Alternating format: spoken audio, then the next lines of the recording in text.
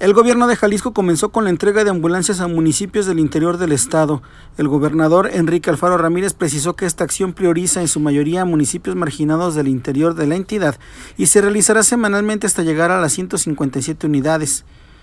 Este jueves se entregaron 10 ambulancias de urgencias básicas a Puerto Vallarta y hospitales de primer contacto de la Secretaría de Salud en Cihuatlán, Tomatlán, Sayula, El Grullo, Mascota, Tamazula de Gordiano, Teocaltiche, San Juan de los Lagos y Ojuelos. Con estas ya son 15 ambulancias cedidas en comodato para fortalecer la red hospitalaria de SAMU Jalisco. Para Noticiel.mx, Juan Carlos Huerta Vázquez.